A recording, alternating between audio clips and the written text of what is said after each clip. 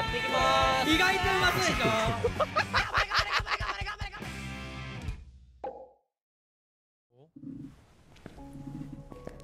うわーなんか綺麗なゲームだねこれ美しいね門限は10時学生なんだ俺はネタ箱現金もしもし父さんフルボイスときたとか何言ってるんだよ母さんの実の娘の葬式にすら顔出さなかった人の見舞いに行くのか。俺の知ったことじゃない。港声リリしすぎない？お前がキムさんをよく思っていないことは承知だ。ちょっと中二病入ってるな。キムさんにはも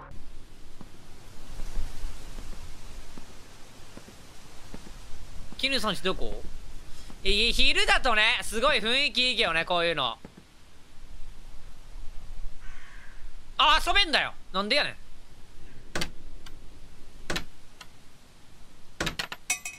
うっす。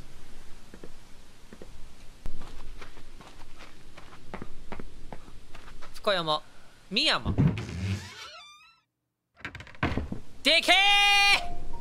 父さんと母さんに連れられてじいちゃんのでででででで。以来だな。えすごくね？このゲームめっちゃ綺麗じゃない？いろいろあってもうクタクタだ。昨日からろくに寝ていないし。すごい土足で。父さんが迎えに来るまで。あーあーあーあーちょっと待って。いきなり雰囲気が。ずっとここにいたい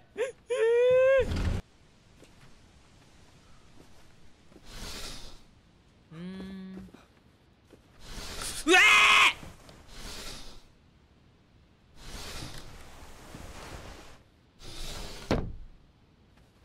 そう。まずハイドはありますなこのゲーム。あ。なんだ？古い写真。ああ背中だね。仏壇だ。せっかくだから線香あげようか。あげておこう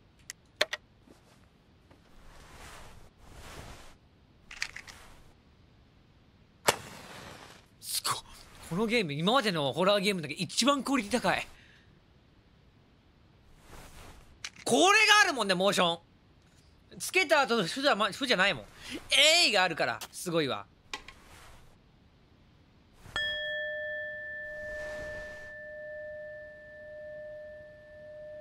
佐一じいちゃんは井戸に落ちて死んだ。お井戸に落ちて死んだ？物知りで。井戸に落ちて死んだ？いいじいちうわゃんー気になるな。落ちるかな井戸に。やられたんじゃないのじいちゃん。絹さんは。じいちゃんが俺たち家族と親しいことを知っていたのに、うん。亡くなったことを娘の母さんにさえ知らせなかった。じいちゃんが死んだと知ってから母さんはひどく塞ぎ込むようになってそれで母さんもあんな非常な人が俺の祖母だなんて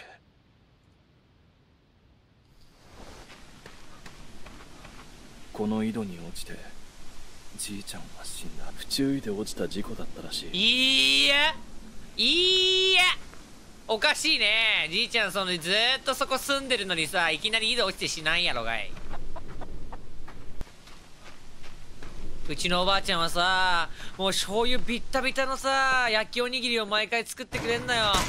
でもさそれを絶対アルミホイルで巻くの。醤油よりねアルミホイルの匂いが勝っちゃって。でもそれが思い出ってもんだよな。匂いするもんそのアルミホイルの焼きおにぎりの匂いがすごくいいこたつ。俺 VR チャットやるやつがなんかこういうところの趣を感じるようになったら感性が進化した。人として。やだな。あ夜になんのマジでこれ夜でとんでもない雰囲気になってたら俺泣いちまうよ。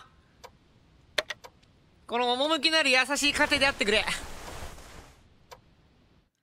はあはあはあはあ。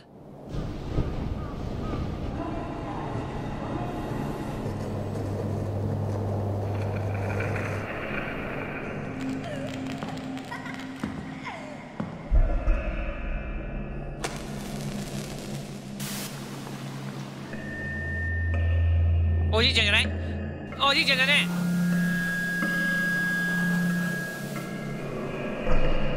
しいもん今の。おじいちゃんが死んでる視点があるのがおかしいもん。殺されたんだよ。これゆいちゃんかなお母さんかな多分。おばあちゃん？おばあちゃんが絹さんかな。絹おばあちゃん？うん絹おばあちゃんだね。絹おばあちゃんは蚕を育っていた。はい。これはお蚕様だよ。お蚕様はねそれは大事に大事に育てる。の暖かい部屋でお腹いっぱい桑の葉を食べさせてあげるのよ。そうしてきれいな繭を作ったら茹でて殺して糸を取るの。かわいそうだと思うのかい？たとえ繭を出られてももう口はないし飛ぶこともできない。卵を産んで死んでしまう。人がそういう虫にしてしまったのよ。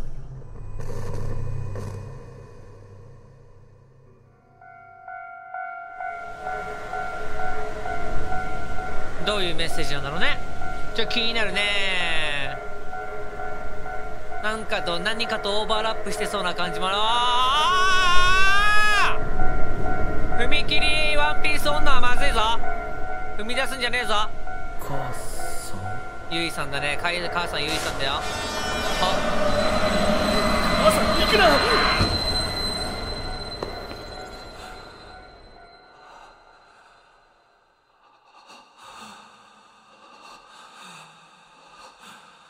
なんでだろうね。なんでだろうね。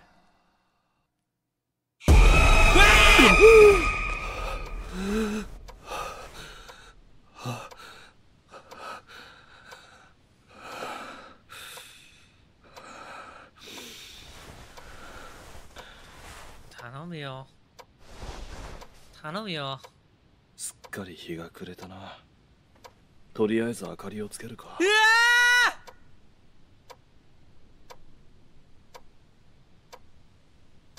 ー！えやばいって。何するって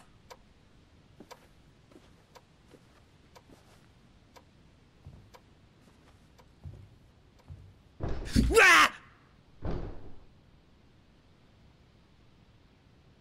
玄関の方だ。父さんか。父さんか。かじゃね？ん？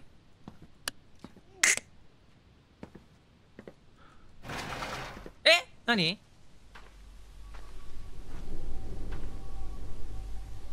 なんだよこれ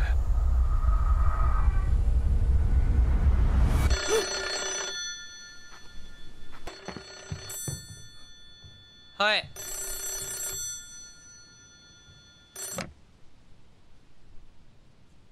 もしもし。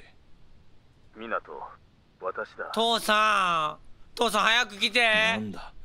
父さん。怖すぎるよこの家は今どこ？早く来てよ俺ここ一人にいられないよ。そのことなんだが今夜は帰れそうもない。なんでよ父さん！父さん！今転院先のダ病メ院からだよそれは。キムさんの首に絞められたような跡を見つけてな。キヌさんが締められてる。でもキヌさんはここ一人で住んでたんだろ？それじゃあの人は誰かに襲われたせいで。湊一人で大丈夫か？無理。当たり前だろ。子供じゃあるまいし。ああああそうか。湊。ああ。気をつけなさいってなんだよ。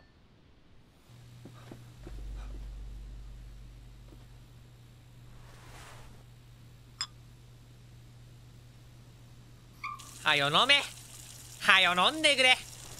いいから。ああそのむ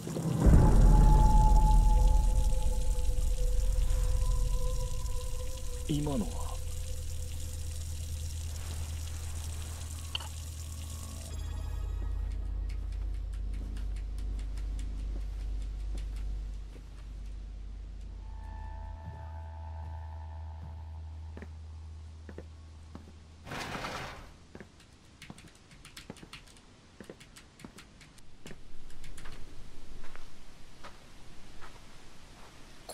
マジで。ああ俺今操作してない。俺操作え？えそういう明確な化け物なの？これ。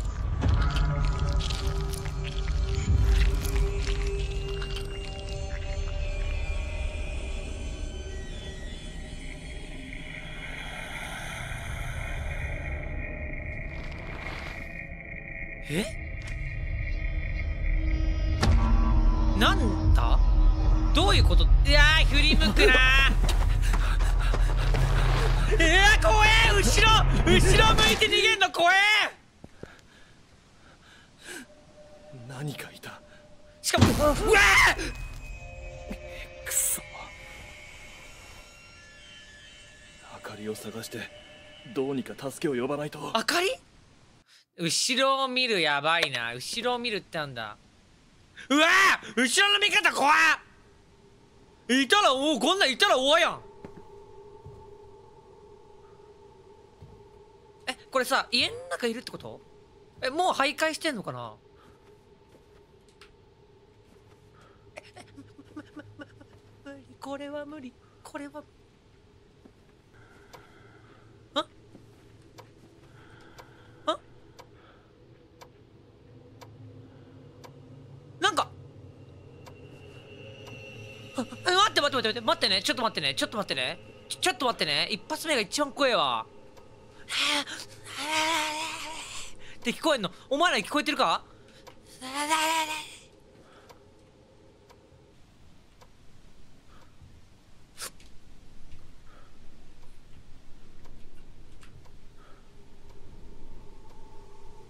ちょっと怖さを緩和するときに俺ここにいていい？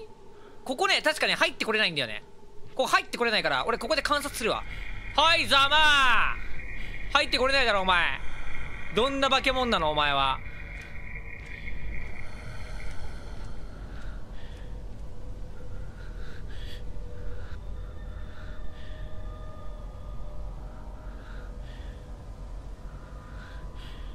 おいおいおいおいおいおいおいおいおいおいおいそっち玄関じゃねそやばいこれはマジでやばいこれはマジでやばい待って待って明かりが欲しい明かりが欲しいああ和式便所！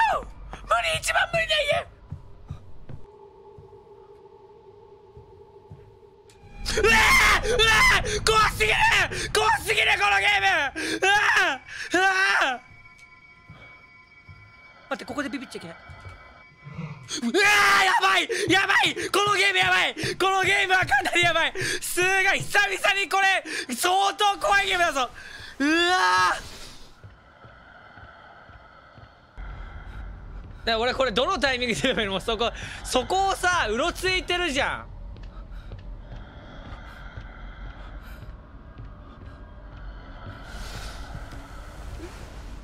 あええからそんな丁寧に締めんの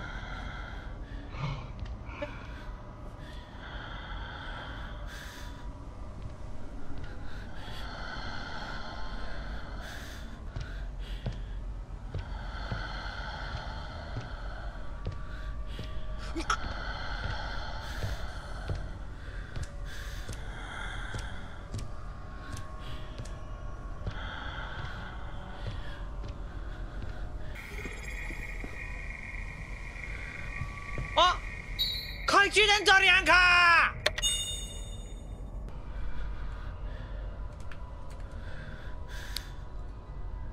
待って待って待って待って操作系統奪わないで後ろが気になる110番110番待ってこの電話のシステムわかんない。オッケー。ダイヤル回す。スペース。頼む頼む。頼む頼む。ごめん近く来い早く出てくれ近く来い。もしもしもう折り返った。もう折り返った。びっくりした。ーあでも意外と顔可愛い。全然チューできる。全然チュー待って全然チューできる。幸いなことに。えこれは怖くない。全然チューできる。このお化けは。え怖くないかも。俺これやれーで走ってくるのかいうわマジで危ないどうしたらいいのどうしたらいいのここだろ確かここだろ入れ入れ入れ入れイエスはい完璧うわーびっくりした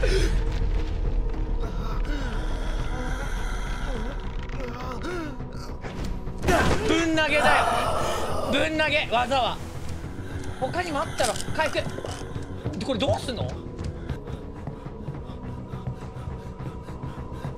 来た。これからできた。一回ここだ。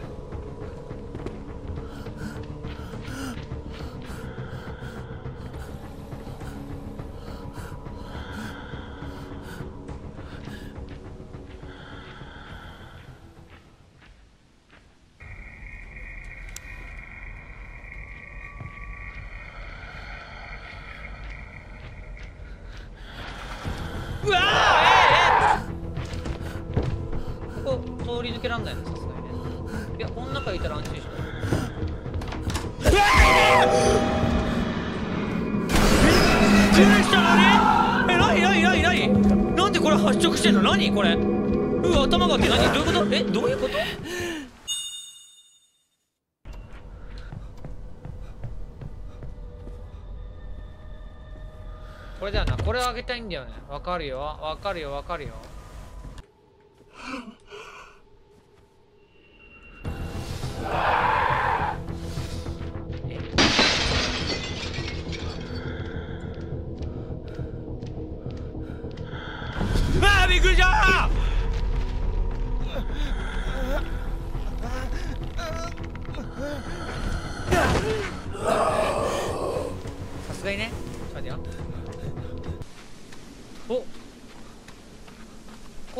見てないよね俺ね。なんだ？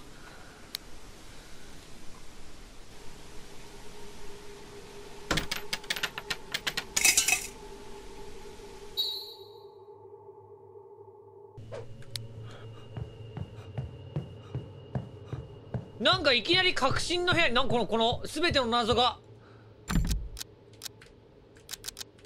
隠されてそうな部屋に一気に繋がったんだけど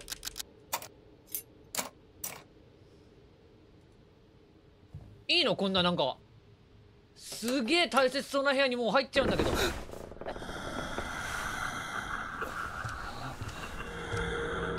どうする？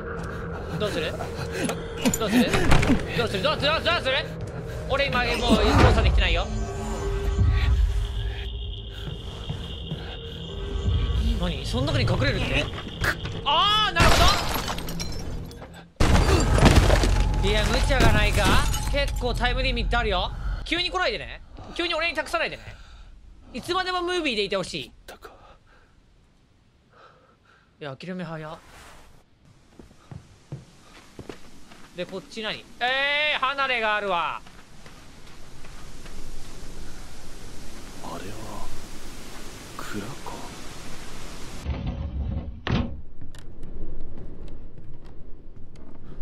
蔵でもう寝ようセーブだ。何ここ？訳ありすぎだよこの家。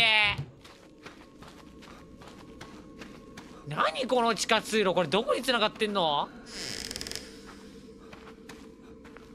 こういうところは来ないんだ。あのね角のところは基本的にドンは来ないからこういうとこ直線がよりだ。それは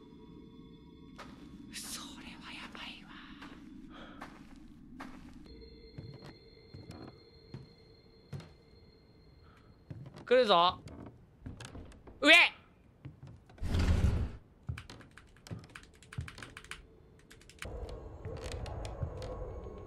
行き止まりかがちょっと怪しいな。行き止まりじゃないんじゃね？お。ここからかすかに風の流れを感じる。この壁もしかして。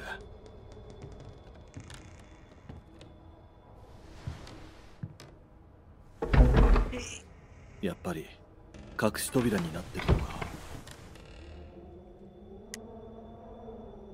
やめておくことあんの？いやここ来るだろうな。ふう大丈夫。来るって分かってる時は怖くない。さすがにね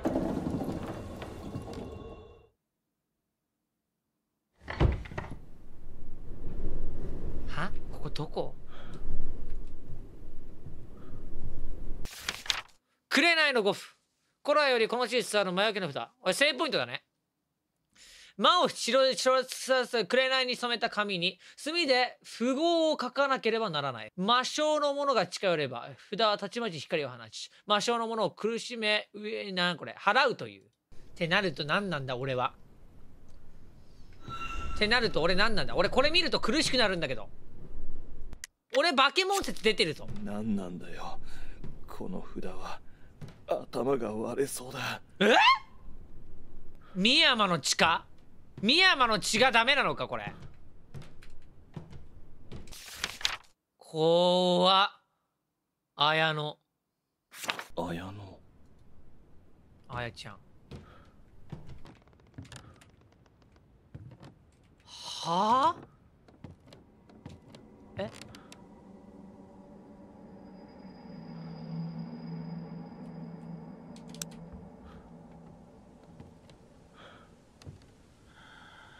こういうのはね張り付いた方がいいんだぜ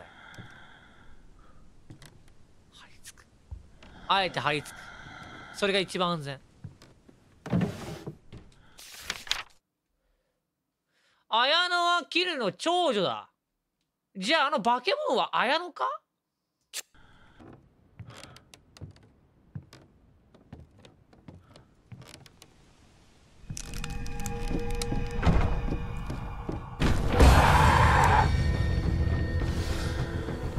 俺ぐらいになると最速で隠れるから。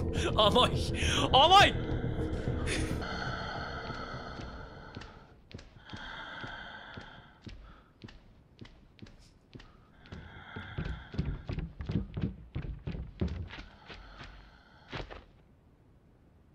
飛んだな今。えって飛んだ音したな今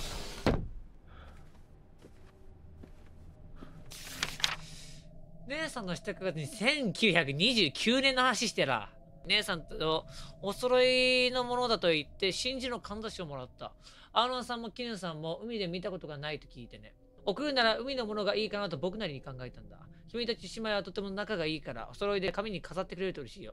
そう話すと彼からかんざしを出されるとたちまたたちまち私の顔は好調しこの胸の高鳴りが彼に気づかれてしまうのではないのかと。私は顔を伏せてしまったかわいい！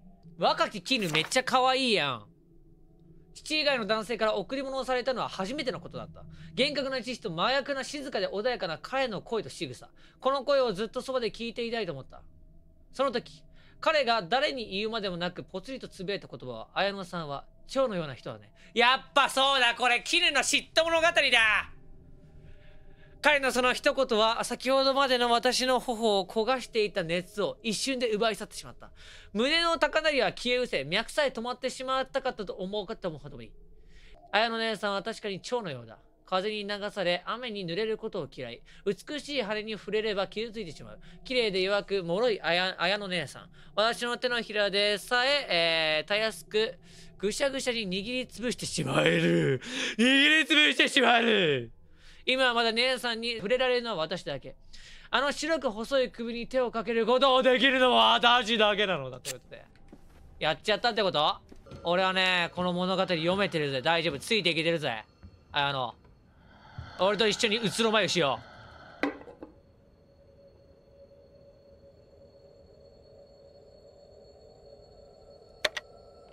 う。薪がないと火がつけられない。火を起こせばこの塊を溶かせるかもしれない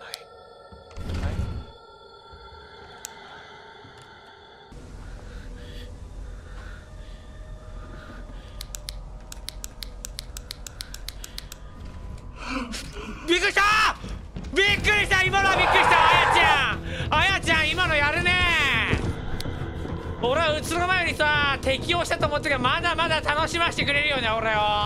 うつろまゆあやちゃん。たまんねえな。薪はキッチンの近くの外とかにさこれ薪？ああ薪だ。え？っ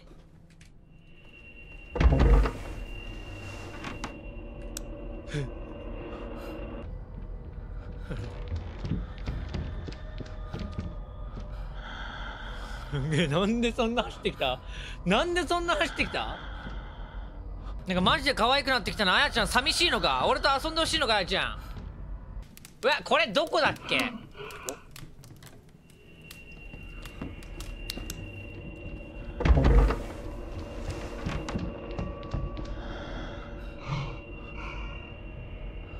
これセーフなことある？これセーフなことある？あやちゃん。あやちゃんもうちょっと考えて。あやちゃん今目の前にいたねあやちゃんあやちゃん今目の前にいたもうちょっとだって頑張って探そう。あやちゃん今もうちょっとだったじゃん。なんでだよ。ちょっとドジっ子な面出ちゃってる。いらないんだけどな。怖いで一貫しようぜ。可愛いあやちゃんが出てきてる。やっぱ化け物の中にもさいるんだよね真に。可愛いあやが。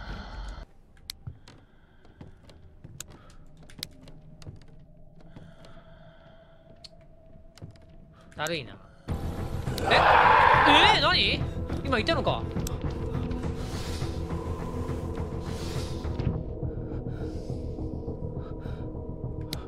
間違えた。危ない。うわうわ怖っあやちゃん！えあやちゃん！そのうわやられた！危ねえ怖い！今のはよ初めてのパターンだよ。やめようぜ。ええ？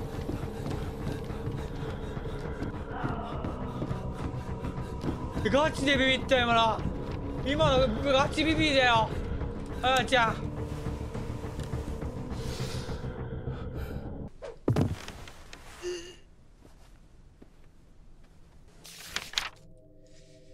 私は綾野姉さんに意地悪をするようになってしまった。わざと口を聞かなかったり、そっけない態度をとったり、拙い連情が私を操作させる。あ私が理不尽な意地悪をしても、えー姉さんはその訳すら聞かず、泣き出しそうな顔で、絹ちゃんごめんね、許してね、という。姉さんが謝ることなどほとんどない。えー秋の夕暮れ、姉さんと二人でもみじ狩りをしに神社に、神社の参道から山に入った。私が姉さんの手を引いてやると嬉しそうに微笑んで、私の手を握り返してきた。近頃の意地悪な私の態度を咎めることもなく、姉さんはいつも優しい。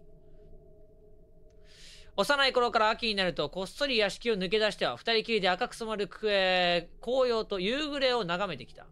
晩秋の冷たい風が、えー吹くほどに繋いだ手のあたか暖かさを感じられた。仲直りしていいんじゃないの？けれど、きっとこのぬくもりも今年で最後なのだろう。来週には、えー姉さんは斉地さんと祝言を挙げることになっている。私も遠くないうちによそへ読み出されるはず。絹ちゃんもみじ綺麗だね。来年も一緒に見に来ようね。無邪気に目を細めて言う姉さん。人の気も知らないで姉さんは私を繰りつける。いつもそばにいた姉さんが離れて行ってしまうこと。恋しちゃっている斉地さんが姉さんと一緒になること。私は言い表せないこの醜悪な感情の苛立ちを、とうとう姉さんにぶつけてしまった。もう二度と来ないわ。斉地さんに連れてきてもらえばいいないいじゃない。いつまでも私に頼らないで。私はそう言い放って、繋いだ手を乱暴に振りほどき、姉さんに背を向けて歩き出した。溢れ出す涙を姉さんに見られたくなかった。後ろから置いていかないでと小さく消え入りそうな声がした。私は聞こえないふりをして一人で山を降りてしまった。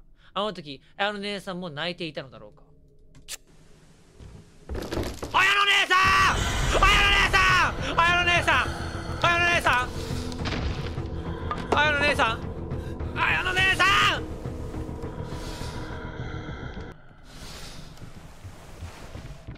あの姉さん戻ってきてる。綾野姉さん出して戻ってきてる。綾野姉さん意味わからん。挙動わけわからん。あの綾野姉さんは？は？今怖っ。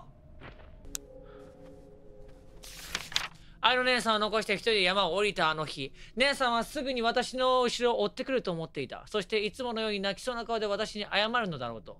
でも綾野姉さんは帰ってこなかった。どうして私は手を離してしまったのか。あのまま手をつないで二人で山を降りていれば。綾野姉さんは今も私のそばにいたはずなのに。私の浅かな嫉妬心で姉さんを失ってしまった。雪の降る夜明け、誰かに呼ばれている気がして外に見上げると、門の前に綾野姉さんが立った。一月も山をさまよっていたというのに着の着物も髪も綺麗なまま草履には土一つついていない。しかし姉さんは口が聞けなくなっていた。私は泣きながら姉さんを抱きしめて強く手を握った。あの姉さんの手は温かか温かかった。あの時私が手放した温かさもう二度とこの手は離さない。あかんのあるなんだ？あかんやつあるやんくぼみが2つあるおいゆうやのつむでいけんのか？フルパワーだぞ俺読めんな私が仕事から戻ると、ゆいが今まで泣いていた。慌てて駆け寄った時、ゆいの顔も制服も血で汚れていることに気がついた。そしてゆいが震える手には、息途絶えたカナリアが抱かれていた。13歳の祝いに私が送ったカナリアだった訳を聞くと喉が渇いて仕方なかったのだって。うえお前やったな！絵皿には水を浸す。なななは？な絵皿に模様が浮かび上がった。なるほど。動かすって何これ？ああなるほどね。緑。でこれも一回送り込む。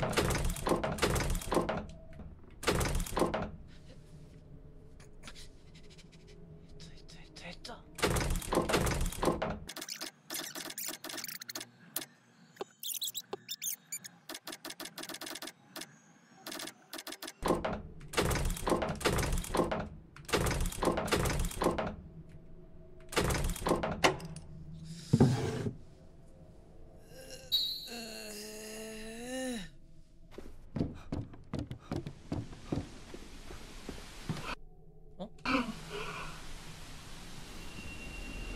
どこにいる？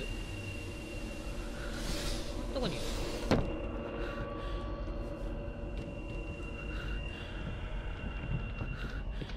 うわーびっくりした！びっくりした！今のびっくりした！あーびっくりしたびっくりしたびっくりしたびっくりした。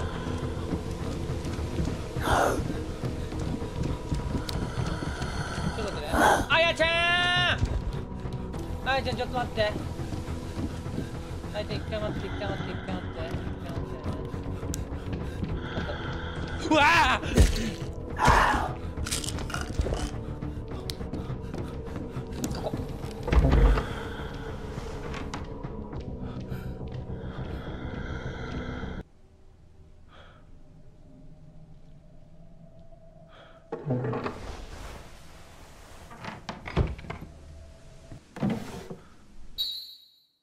やべえ、マジで記憶いない。佐一が気を高ぶらせながら、姉さんを元の姿に戻す術を見つけましたと言ってきた。醜いと姉さんから目をそらし、ゆいを連れてきた男がひょいと戻ってきて今更何を言っているのか。私は綾の姉さんを醜いと思ったことは一度もない。どれほどの歳月を重ねても色あせることのない濡れガラスの長い髪を溶かし、唇をべ紅に刺す。紅を刺す。私がずっと羨んできた美しさ。あの頃と何も変わらない。美しい綾の姉さんのまんま。最地は私から姉さんを奪い奪おうとしている。そのようなことはあってはならない。私は全くもって耐えられない。最地に姉さんは渡さない。真珠のかんざしを庭の井戸に投げ入れた。ああ、井戸にあるんですね。何度も捨てようとして捨てらずにいた、ね、真珠のかんざし。かんざしを取ろうと井戸を覗き込んでいた最地の背中に私はそっと身を寄せて抱きしめた。どうしたんだい？絹。と優しい声がして、いいえ、何でもありませんと答えた。そして力の限りをして井戸に突き落とした。最地に触れたのはあれが最初で最後だった。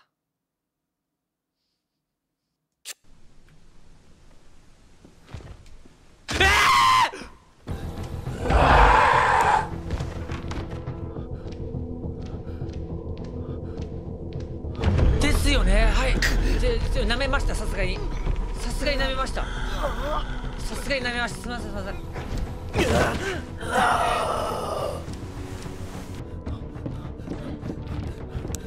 ここはいけんだわ。悪いな。どこだろうね。わからないねあやちゃん。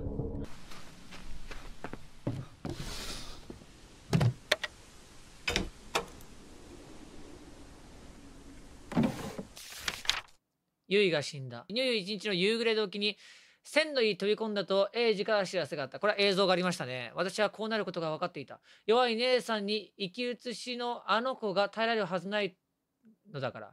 あの日、ゆいは一人で私に会いに来た。美しいその姿は塔に映っていたはずの私の醜い感情を連れ戻してしまった。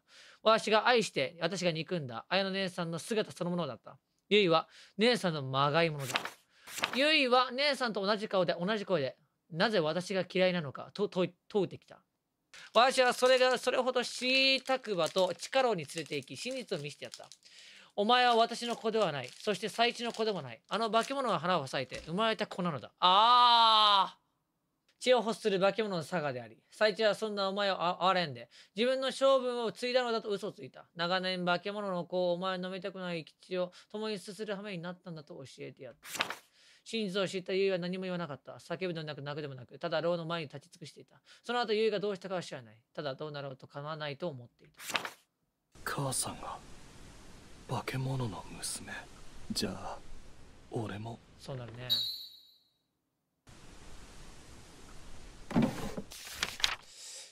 絹ちゃんが恨めしいような悲しい顔で、綾野姉さんは蝶のようねと言った。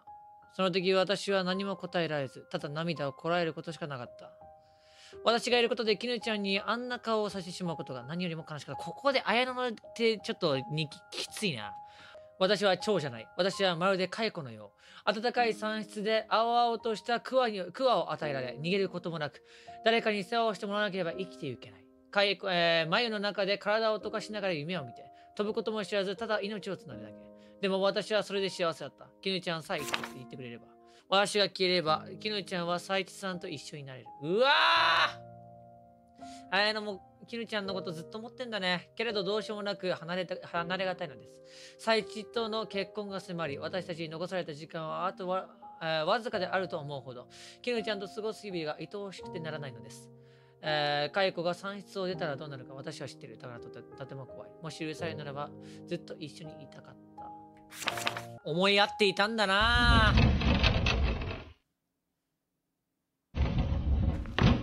お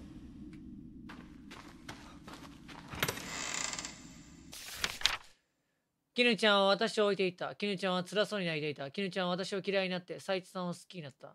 キヌちゃんが泣くぐらいなら私が決めてしまえばいい。彼女に会った。真っ白で綺麗だった。えー、泣く私を抱きしめてくれた。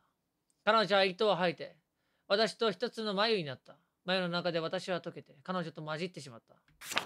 私が追い詰められていく。私が私でなくなっていく。たくさんのことを忘れてしまった。忘れたところには彼女に、彼女に、忘れたところは彼女になってしまう。彼女は私を食べ続けている。喉が渇いて仕方ない。お水ちょうだい。真っ赤な水。牢の外にいるおじいさん。誰？綾野、綾野、綾野と泣いている。あのはきっと私の名前。おじいさんが牢の中に入ってきた。私の頭を撫でて泣いている。キヌちゃんが笑って食べていいよと言った。キヌちゃんは美味しいお水をくれる。優しい声で私を呼んでくれる。嬉しい嬉しい。キヌちゃんは私の宝物。助けて助けて怖い怖い。キヌちゃんは忘れてしまいそう。彼女は私のほとんど食べて彼女は私をほとんど食べてしまった。私は私は私がわからない。お願い、私は覚えているキヌちゃんを食べないで。キヌちゃんを忘れてしまう前に私を殺して。この縄は。いや、絶対来んだろ、これ。もうこれ、これ、これ読んだら絶対ムービーが来るわ。あの姉さんは内臓何度も血を吐いて動かなくなった。毒が入っていることを承知で私が用意した血を飲み干してくれた。こうするしかなかった。病に浸された私の命はもう長くない。そしてここは時期、湖の底に沈んでしまう。年老いて、枯れ枝のようになった私の細腕では、もうどうすることもできない。人目にさらされれば姉さんがどのような扱いを受けるのか。化け物だ狂人だと恐怖と好奇の目で見られ、犬塾長以下の扱いをされるかもしれない。そのような惨めな思いを姉さんにはさせられない。私が最も恐れたのは、姉さんを忘れてしまうこと。病に蝕まれ、私の記憶は少しずつ揺らいでいく。耐え難い頭痛に苛まれながら、夜ごと床に着くたび、明日目が覚めた時、姉さんが姉さんを覚えているだろうかと不安で押しつぶされそうだった。私はみんな殺してしまった。父も妻地も結も、そして姉さんさえも。一人残された私は少しずつ縄に首を絞められながら苦しんで死んでいく。ごめんなさい。私は姉さんの本当の気持ちを知っていたのに、それに甘い嫉妬心から姉さんを傷つけた。強く姉さんに見入られ、だからこそ姉さんが憎たらしかった。初めから姉さんは私の胸の中で全てを知っていたのであろう。私がどれほど醜く残酷な妹かを知っていて、それでも綾の姉さんは誰よりも私を思ってくれた。姉さんは日が落ちると屋敷の中の明かりを灯して回った。目も足も衰えた私が転ばぬようにと、シワだらけになった冷たい私の手をいつも優しくさすってくれた。ほとんどのことを忘れてしまっているはずなのに、私を忘れないでいてくれた。もうそれで十分。どのような形であれ、私たちは幸せだった。いつか終わりが来ることも分かっていた。このような方法でしか姉さんを救っていられない私はどうか許して。あの日、姉さんが何と混じってしまったのか、姉さんが書いた彼女が何だったのかは分からない。でも私が彼女のように、姉さんと迷いにこもり、溶けてしまいたいなととずっと思っていた。まあ来るよな。あの仕込められた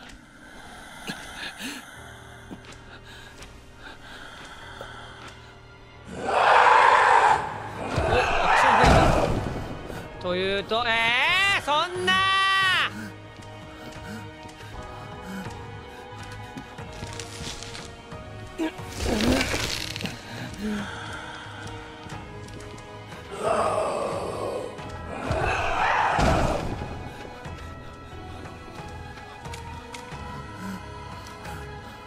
強い衝撃を与えればこう壊せそう。強い衝撃。待てよ。回復あと1個うますぎる。うわめちゃめちゃ余裕だな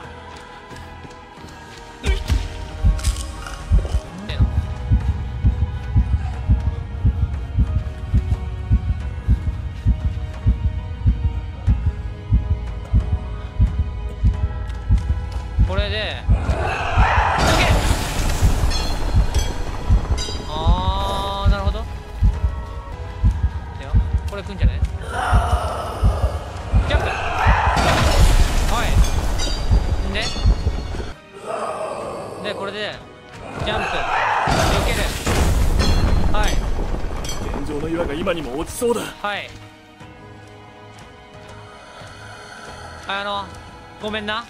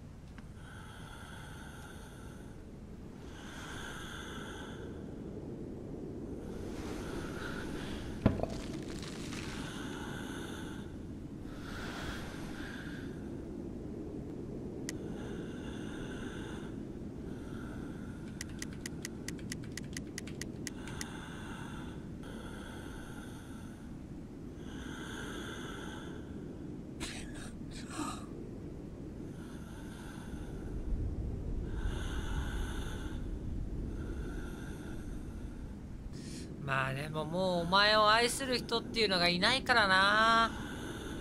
絹ちゃんも面倒が見れないし。そうするとお前は野に放たれてな。苦しい思いをするだろうしここで殺してあげようか。絹ちゃんがいたからこいつは生きれたしな。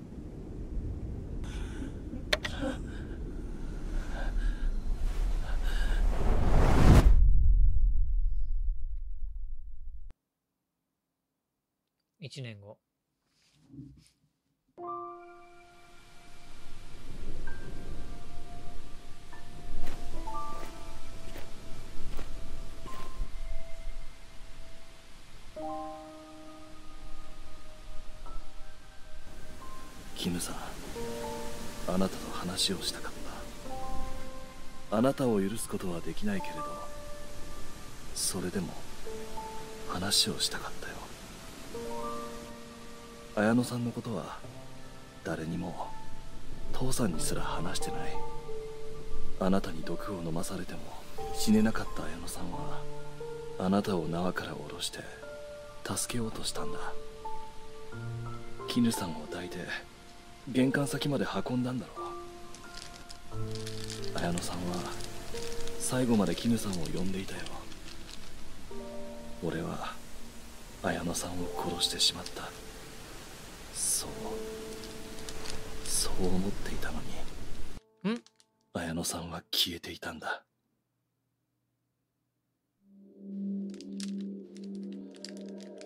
彼女の亡骸をあのままにできなくて埋葬しようと戻った時にはもう綾乃さんの姿はどこにもなかった。うん？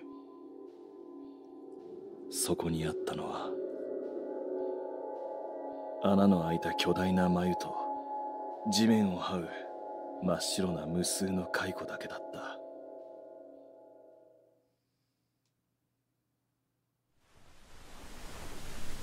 もしかすると綾乃さんは今もあなたを探しているのかもしれない。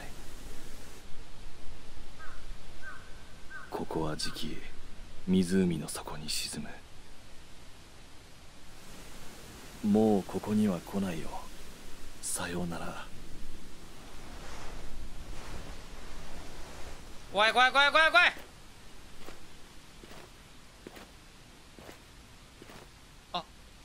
あれは？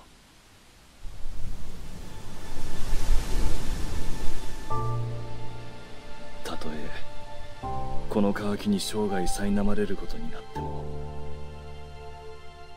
俺の中にどんな血が混じっていてもそれでも俺は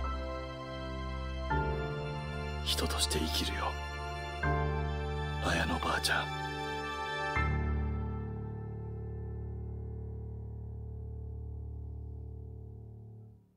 こういう世界観のホラーは効きますね。